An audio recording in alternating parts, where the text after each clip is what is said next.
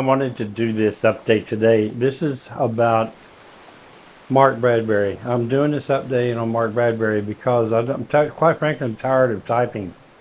I was I saw Mark today, and for those of you that don't know who Mark Bradbury is, Mark Bradbury is former author of the International Living magazine. He's a prolific writer. He's written several books. Uh, He's been a, a resident of Manta, well, Ecuador for about going on eight years now. He's the founder. Well, I was going to say he was the founder, but he's not really the founder. He took over a Facebook group called the uh, Manta Manabi uh, Expats and Amigos. Uh, it's a group, the Facebook group, about 7,500 members. I, uh, I, me, and uh, Mike uh, Manta Mike are helping Mark manage the group now while he's uh, in the hospital. I normally type up updates and put them on the group page, but I just felt like I just felt like talking today. I saw Mark today. It's the first time I've seen him in two weeks.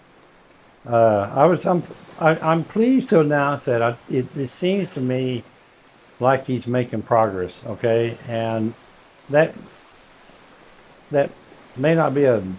You may be thinking, well, wait a second, hasn't he been in ICU for like 17 weeks? And yeah, right, it's been 17 weeks and five days since Mark's been in ICU. In those 17 weeks and five days, I think he spent one night in a private room. The rest of the time he's been in ICU. I'm pleased to announce that today uh, I got to see Mark breathing on his own. He still has a trach, but the ventilator is not hooked up to it. He's breathing, I guess, through the tube, you know, that's sticking over here. But these, these, they've been getting him out of bed and putting him in a wheelchair. He's been giving them a little bit of trouble with that. He, uh, uh, the doctor told me this morning that over the weekend he developed a low grade fever. He's had that for a couple days, but they believe they got that under control. So I was able to see Mark. I don't really have a whole lot to report as far as a change in his condition, other than the fact that they're working feverishly to get him off that ventilator and get him to breathing on his own, get him out of that bed and into a wheelchair and get him outside and get him, you know, mobile. And I told him, I said, as soon as you are at that point, you know, then we can start working on getting you home. So that's, I guess that's good news. It's, uh, it's good news. It's bad news that he's still there.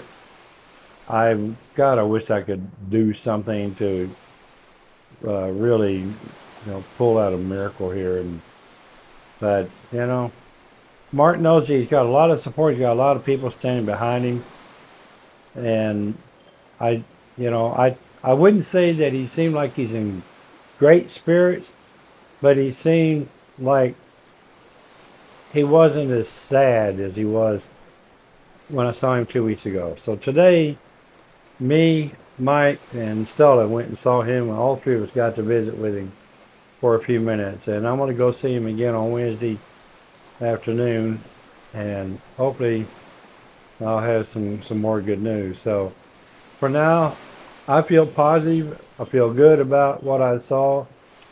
I'm not happy that he's still in ICU. That normally being in ICU this long is usually not a good thing. Doesn't have good results. But let's keep our thumbs up and keep our fingers crossed. And for those of you that are uh, faith, let's keep your prayers going for for him. Okay. Thank you so much. I appreciate every every one of you. And I'll talk to you on the next one. Okay. Ciao, ciao.